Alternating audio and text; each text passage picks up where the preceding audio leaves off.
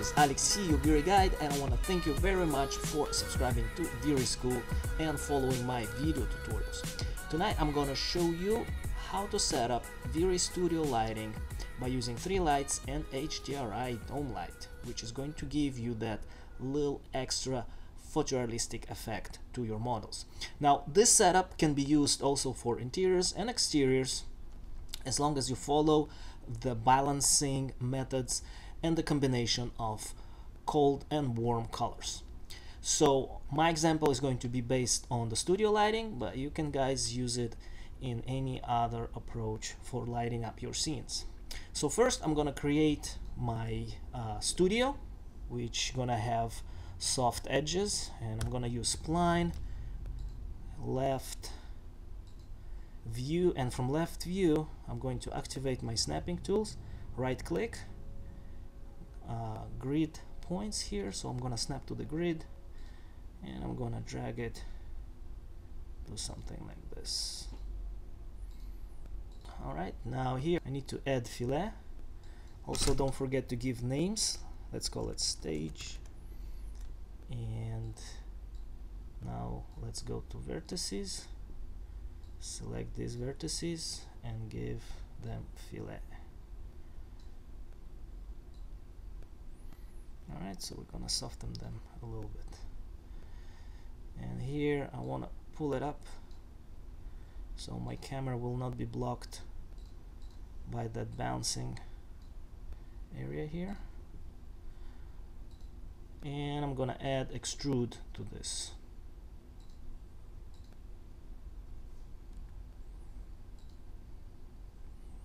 From the side view so something like this. And let's assign some cool materials.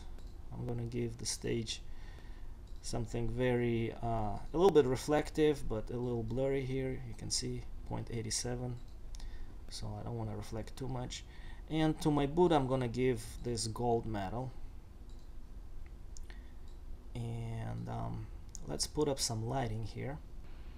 I'm gonna add V-Ray lights on the side here. And I'm going to drag one here drag another one here. And I'm gonna copy because those lights are going to be different. So one I'm gonna do bluish with about 10 uh, multiplier intensity 10 and this one probably 4 and kind of yellowish. So blue is going to be a little bit stronger but the yellow is going to have a little bit more color to it. And now we actually need to put a camera so let's go to cameras select V-Ray physical camera and let's place it here looking at the Buddha.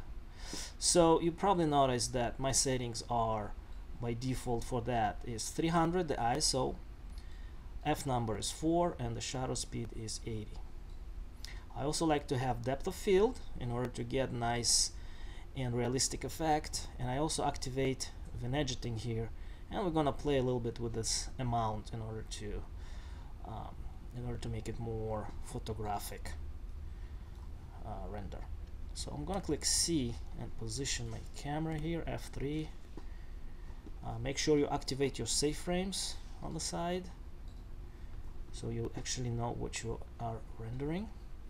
Now I can launch my IPR right here.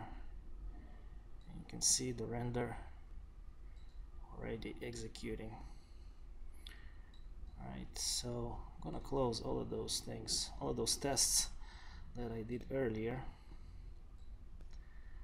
And now what I want to do is I actually want to add another light. So I'm gonna go to left. I'm gonna duplicate this light. And I'm going to position that towards that bouncing board. Like that and probably I'm gonna give it less. Let's give two and a white color. Because this is just going to be a bouncing light. Okay something like this. Let's go back to camera. And we'll hit refresh our render here and we're getting nice feeling light. And um, the only thing with those lights is that you have their kind of reflections here. And I don't like to have those because it doesn't really add realistic effect. I mean you can have them. I actually like to close them so let's let me select light and let's make it not reflective. So you can see we kind of lost our um, reflections here. And I think I need a little bit more bouncing like on the foreground. So what I'm gonna do is I'm gonna go here to left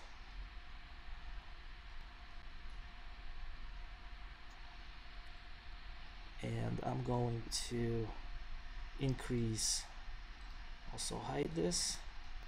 I'm going to increase to 5 now let's go back to camera. And we can see we're getting a little bit more feeling light on the front but uh, we're kind of losing the whole um, realistic aspect of that rendering. Kind of have we need to have more reflections a more craftier look. Kind of the whole ambience kind of need to go a little bit up.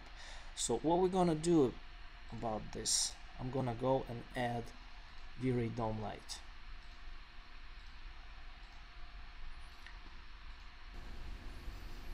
And here we're gonna select dome paste it here and you can see already the whole scene starts to fill up with this nice uh, feeling color let me move a little bit further with the camera. By the way, we can do it also from this uh, real zoom view with uh, with the new V-Ray next. Get the chance to work with it. Now here in this ambient light, if we can change color, we can really control nice ambience appearance here. Okay but what I like actually to do is to put an HDRI map. And uh, there is a free HDRI that comes with this uh, tutorial with this scene so you can load it up. And try it try it out. It's an interior HDRI so let's load it here. I'm gonna drag it to the instance. It's gotta be on spherical mode. Uh, it's also, let's increase the overall multiplier because I want to throw a little bit more light.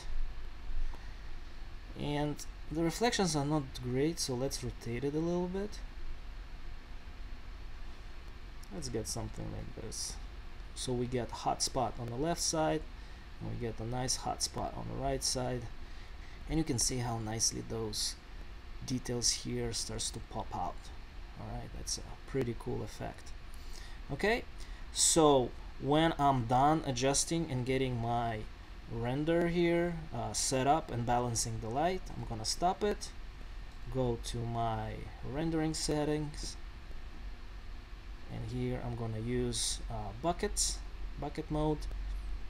1 and 10 pretty low noise threshold this all stays by default. And I'm gonna click render and render my final image. Alright so the render was done. As you can see here the quality is looking pretty good and it looks pretty realistic. Now I just want to add final note. I'm using here calibration of V-Ray frame buffer. So I do use exposure. I do a little bit hue saturation a little color balance in order to give it a little bit greenish uh, kind of look. And I'm also doing some curves in order to pop up a little bit the highlights. So basically if you do render and follow my steps exactly that's the render that you're gonna get and then you need to color correct it in Photoshop. But if you guys want to do it right away inside V-Ray you can do that with the help of V-Ray frame buffer. Alright? So download the scene below enjoy your holidays. Wish you best in the upcoming year. This is Alex your V-Ray guy thanks a lot for following. Ciao